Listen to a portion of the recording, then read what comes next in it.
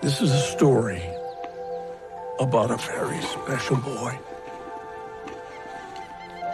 A boy by the name of Gus. Some stories start at the beginning. Ours begins here. What the?